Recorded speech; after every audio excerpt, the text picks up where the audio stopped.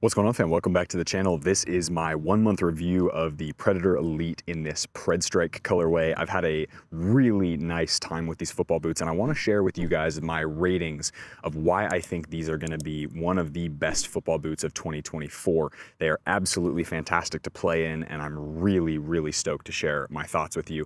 Uh, for context, I've been able to play on FG, AG, wet weather, dry weather conditions down here in Australia, as well as a few other um, proper training sessions, individual sessions, all that stuff. So you guys will get a really good sense of kind of what they're like to actually perform in, in team environments as well and as in individuals. So without further ado, guys, let's hop into the sole plate, which is the control frame. Now, control frame is very, very similar to the torsion frame that we have on the Copa Pure lines literally identical, except for these studs are going to be more triangular and star-shaped as opposed to the Copa Pure, which are half moon-shaped studs. Same layout, basically the same length as well. And so from a functionality perspective, they really don't differ that much at all. And so whether you're on AG pitches or FG pitches, I think you're probably going to have less, less, uh, how do we say, less structural and uh, stability concerns with the torsion frame from the Pure line.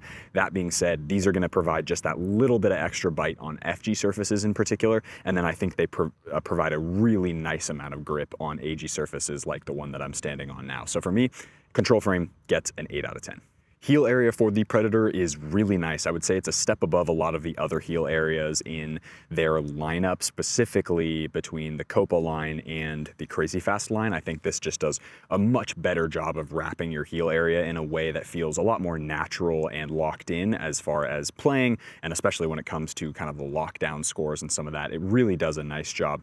That being said, for me and the way that my foot shape is, it does slip a little bit in this football boot simply because the heel area is just that little bit too large for what I'm looking for from a heel area perspective. So that does affect the lockdown score and it does affect kind of the shape and the fit of the football boot as well. Um, but overall, really not many issues as far as slippage goes. Like I never got blisters from them. I never got any hot spots from the heel area. I just had in certain really uh, aggressive movements, I had a little little bit of slippage, so that does affect the score a little bit, so it's gonna get an 8 out of 10 as well.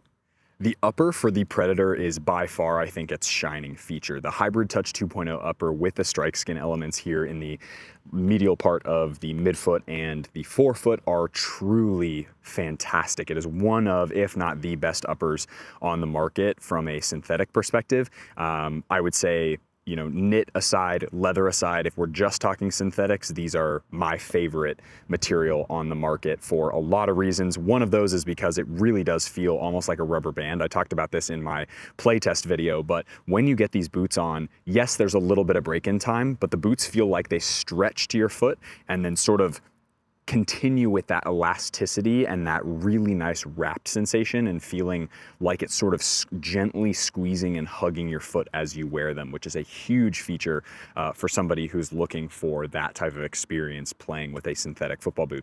The strike skin elements are fantastic. They give you definitely an elevated grip over everything else on the market, bar maybe GX2, which is uh, less grip sensation, but definitely uh, you obviously get more grip grip around it. So it's just depending on what you want. But if you want like the most amount of grip when you're shooting, crossing the ball, the Predator is the boot to go for as long as it fits your foot. So for me, upper, fantastic job after it's get it gets broken in. It's super, super comfortable, performs really well. Touch on the ball is excellent. You get a really nice, consistent touch across the entirety of the upper, even in that elements where you've got those strike skin there. And uh, for me, this is an 8.5 out of 10 upper.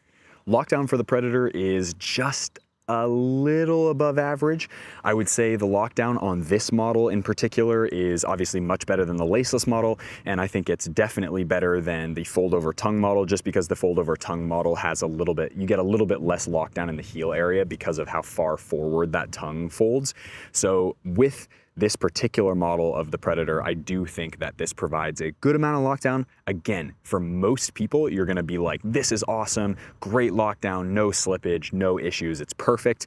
For me and my foot shape, once I break it in and I really start to uh, break in the width area here in the lateral side of the boot, what it does is it kind of causes the ankle area and the heel area to open up a little bit too much for the thinness of my heel type. I know it's kind of a, it's, it's my own issue because my feet are very awkwardly shaped. And so it does provide, there, there is a little bit of slippage in the heel area, which then causes the lockdown to be not as good. That being said, is it better than the Copas? Yes. Is it better than the Crazy Fasts? Probably not. So if you want like the most locked in sensation from an Adidas football boot, go with the Crazy Fast Plus. Uh, but for me, this is like the perfect kind of in between uh, between having way too much lockdown or you know feeling like you're you've got nowhere to go inside the boot versus a really kind of sloppy sensation which in some ways uh, especially the copa pure 2 plus provides so for me 8 out of 10 for the lockdown Break-in time was a little bit lackluster for me. I found it to be pretty challenging, especially in this width area where you have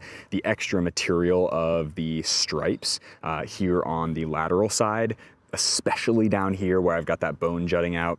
Break-in time was just a little bit too difficult for me to give this anything more than a 5 out of 10, unfortunately. Um, for most people, I think you're going to be just fine. I would go true to size as far as you know break-in time goes and shape and fit goes. Uh, but for me, toe box area, totally fine, no issues. Heel area, no issues. It was just that midfoot that if you do have a wider midfoot, just be careful and just be aware that you are going to have probably a lot higher time frame for breaking this football boot in. For me, it took about six to eight hours of proper play time, taking them on, taking, uh, you know, taking them off, putting them back on. You guys saw the play test. I took them off a couple times in that as well.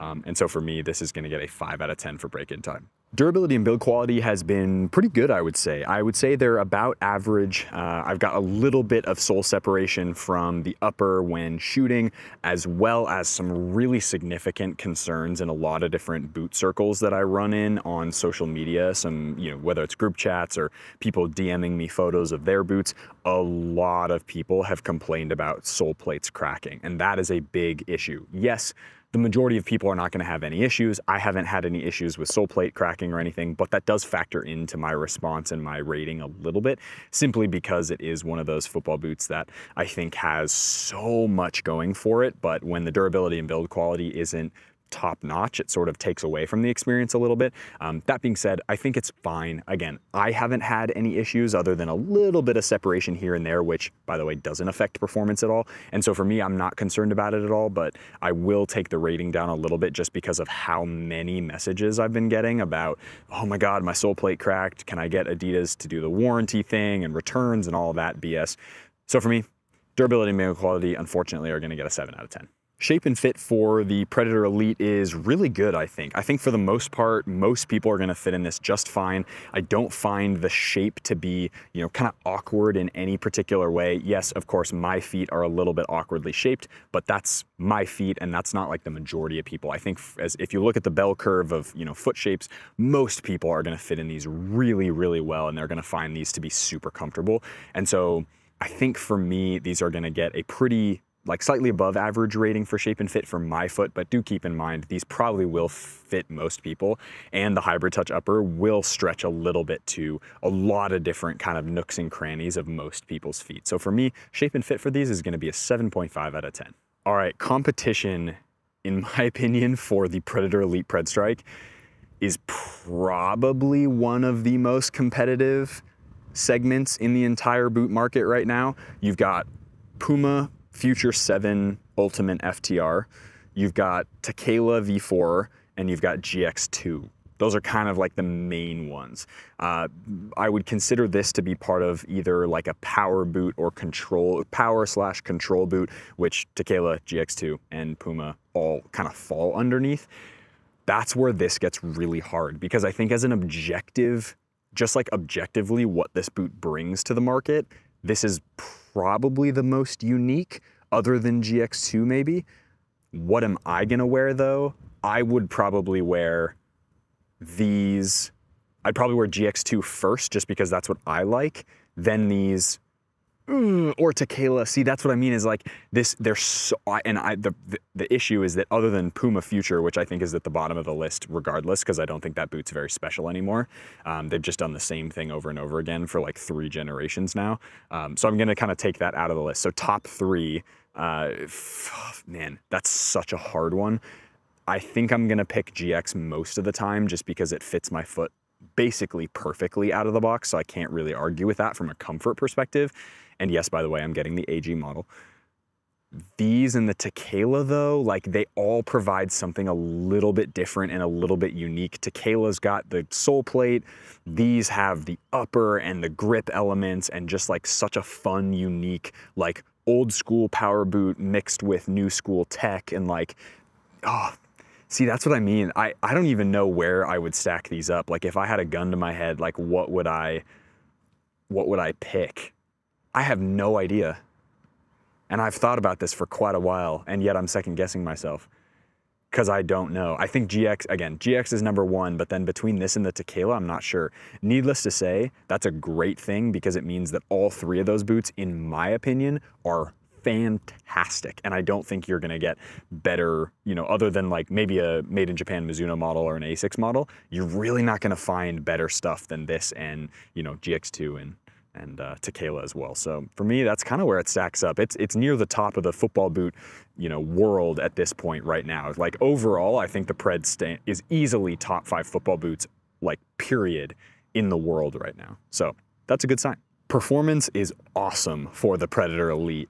Pred Strike. Now, part of that comes down to the strike skin elements, part of that comes down to the upper. The sole plate is good enough for sure. It's it's definitely well above average. I think it does a really nice job. It provides what it needs to for a Predator line. But overall, man, this upper, everything above the sole plate is excellent. It's really, really excellent. And aside from maybe the fold over tongue model from, you know, like a plush touch perspective or a little bit of extra ping or whatever, you're really not going to notice that much of a difference between the two models. And so for me, this is top, top notch as far as performance goes. Even with some of the issues that I have with lockdown, I still found that this boot performed excellently well in high level training sessions and in my own individual sessions. And so for me, these are gonna get an 8.5 out of 10 for performance.